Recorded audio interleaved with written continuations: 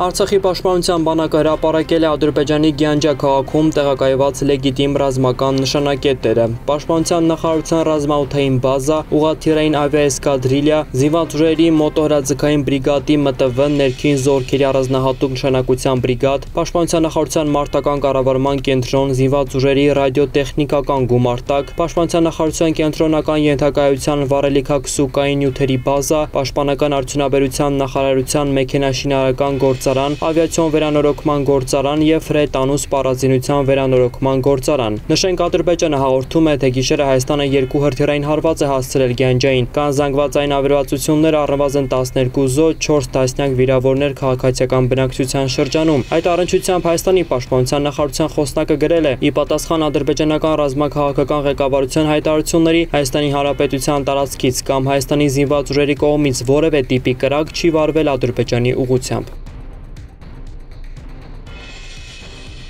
Գիշերը ադրբեջանական զինուժի թիրախակետում դարձյալ Ստեփանակերտն է հայտնվել։ Գիշերվա ընթացքում հակառակորդը տարբեր զինատեսակներով ու կասետային ռումբերով հրթիռակոծել է կենտրոնական եւ ծայրամասային մի քանի փողոցներ։ Զգալի վնաս հասցրել մարդկանց սեփական ունեցվածքին, ավերել բնակարաններ։ Նաեւ տնտեսական նշանակության մեկ օբյեկտի է հարված հասել։ Այս մասին տեղեկացնում է Արցախի արտակարգ իրավիճակների պետական ծառայությունը։ Ընդհանուր վնասների չափը ճշտվում է։ Գիշերվա հրետակոծությունից դժել է 3 քաղաքացիական անձ, նրանց տեղափոխել են հիվանդանոց։ Հակառակորդը Հաջորդը երեք Շուշին եւ Ստեփանակերտին հարվածել ավելի հզոր միջոցներով, այս մասին էլ հայտնել է Պաշտպանության նախարարության ներկայացուցիչ Արծրուն Հովանիսյանը։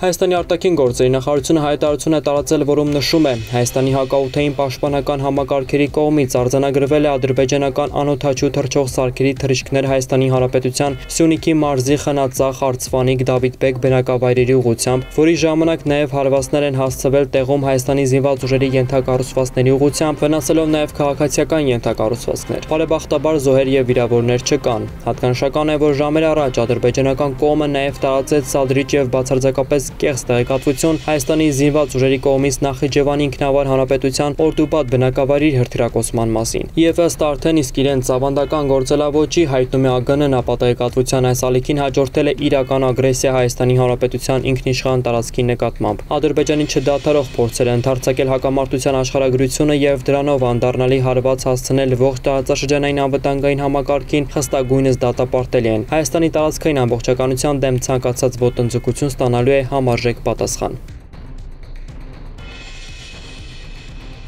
Հայաստանում եւ Սփյուռքում ապրող հայերը շարունակում են հնարավոր բոլոր տարբերակներով աշխարհին փոխանցել Ղարաբաղ-ադրբեջանական սահմանին արդեն 21 օր ձգվող զինված հարձակումների մասին, փորձելով ամեն գնով հասնել Արցախի ճանաչման, օգնել հնարավորինս շատ բարձրաձայնելու աշխարհի հեղինակավոր պարբերականների էջերին Ադրբեջանի եւ Թուրքիայի հարձակումների մասին հասցնելու համար։ Այսօր հոկտեմբերի 17-ին հերթական ակցիայի մասնակիցները փակել են Ֆրանսիա-Իսպանիա միջպետական ճանապարհը։ Նրանք վանկարկել են Էրդողան terrorist հաղթելու ենք Հայաստան, Արցախը Հայաստան է Ցուցարարները պահանջել են իրենց երկրների կառավարություններից ճանաչել Արցախի անկախությունը։ ՄԱԿ-ի անվտանգության խորհուրդը կարող է գումարել արտակարգ նիստ Լեռնային Ղարաբաղում պատերազմի հետ կապված իրավիճակը քննարկելու համար հայտնում է ՌԻԱ Նովոստին հղում անելով կազմակերպության աղբյուրին։ Ղարաբաղի հարցով փակ խորհրդակցությունները նախատեսված են երկուշաբթի օրը։ Միացյալ Նահանգները, Ռուսաստանը եւ Ֆրանսիան, որոնք նախագահում են ԵԱՀԿ Միսկի խումբը, խնդրել են հրատապ քննարկում անցկացնել։ Այլ մանրամասներ աղբյուրը չի հաղորդում։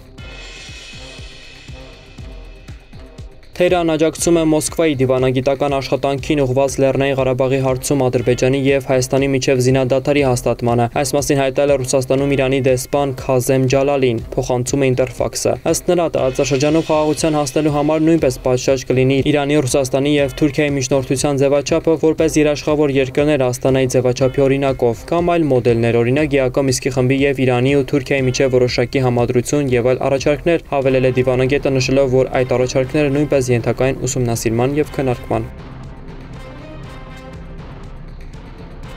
Միացյալ Նահանգները հույս ունի, որ Թուրքիան չի շահագործի ռուսական S-400 զենիթահրթիռային համակարգերը, հակառակ դեպքում դա կթողնի լուրջ հետևանքներ անվտանգության ոլորտում։ Այս մասին 10-ին հայտնել է ԱՄՆ պետդեպարտամենտի մամուլի ծառայության ղեկավարը։ Դրա խոսքով Միացյալ Նահանգներն ամենավճռական կերպով կդատապարտի Թուրքիայում S-400-ի կիրառմամբ զորավարությունները, եթե դրանց անցկացման մասին տեղեկատվությունը հաստատվի, քանի որ ռուսական զենիթահրթիռային համակարգի փորձարկումներն անհամատեղելի են ՆԱՏՕ-ի շրջանակում Թուրքիայի պարտավորությունների հետ։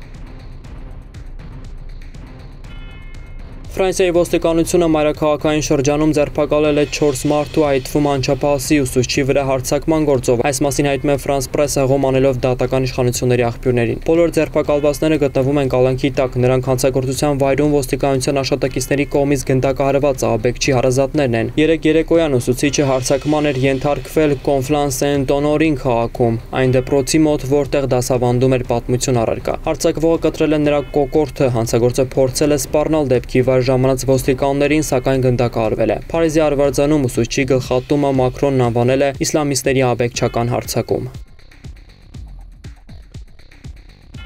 Ռուսաստանի պետդումայի падգամավոր Վիտալի Միլոնովի ընդգրկումը Ադրբեջանի սև ցուցակում խորհրդանշում է այն փաստը, որ երկիրը չի պատրաստվում մասնակցել Ղարաբաղյան հակամարտության խաղ կարգավորմանը։ Այս մասին Միլոնովը հայտարարել է հարցազրույցներից մեկում։ Падգամավորը հեգնանքով շնորհակալություն է հայտնել Բաքվի նման որոշման համար, քանի որ նա չի ցանկանում հայտնվել մի երկրի սպիտակ ցուցակներում, որոնք թուրքական անօթաչու սարքեր են ուղարկում սպանելու կանանց երեխաներին, ռմբակոծելու խաղ քաղաքները։ ՌԴՊ Դումայի Եդինայա Ռոսիա խմբակցության падգամավոր Միլոնովը Ադրբեջանի ադրբեջանական սև ցուցակում է հայտնվել այն բանից հետո, երբ այս օրերին այցելել է Արցախ եւ հանդիպել Արցախի նախագահ Ռեկ Հարությունյանի հետ, որից հետո Facebook-յան էջում գրել. «Այս դժվարին օրերին մեր սրտերը մեր եղբայրների հետ են»։